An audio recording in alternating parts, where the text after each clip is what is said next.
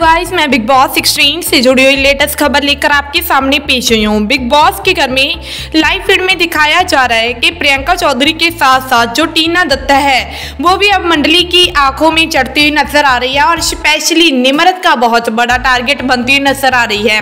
बात यह है कि बिग बॉस के घर में बहुत ही बड़ी लड़ाई हुई है, जिसमें प्रियंका चौधरी को लेकर टीना दत्ता पर जो निमरत है, उन्होंने बहुत ही बड़े बड़े आरोप लगाए हैं और प्रियंका चौधरी को भी भड़काने की कोशिश की है कि जे तुम्हें यूज़ करती है, जे सभी लोगों को यूज़ कर कर छोड़ देती है, जे घटिया गेम खेलती है और प्रियंका चौधरी के साथ सारा दिन रहती है, सारा दिन प्लानिंग वगैरह करती रहती है, इनके पास कोई नॉर्मल बात नहीं होती, जे तो सिर्फ़ सारा दिन गेम गेम करती रहती है।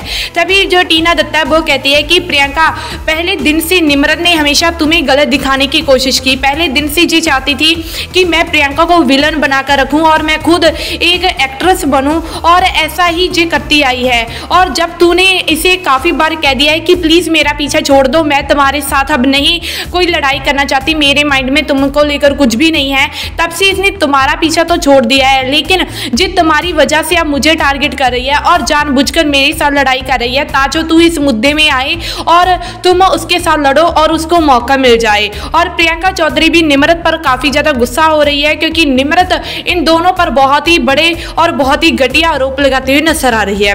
आपको क्या लगता है कि कहीं ना कहीं निमरत को प्रियंका और टीना दत्ता की जो दोस्ती देखकर काफ़ी ज़्यादा जेलस हो रही है? क्योंकि काफ़ी दिनों से ये नोट किया जा रहा है कि जब भी इनकी दोस्ती की बात होती है तो निमरत बहुत ज़्यादा जेलस करती है।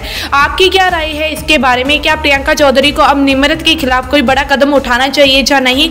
तो प्लीज़ आप अपनी राय हमसे शेयर ज़रूर कीजिए और उनसे जुड़ी हर अपडेट के लिए चैनल को सब्सक्राइब एंड वीडियो को लाइक नहीं किया तो प्लीज़ जल्दी से जल्दी कर दीजिए। धन्यवाद।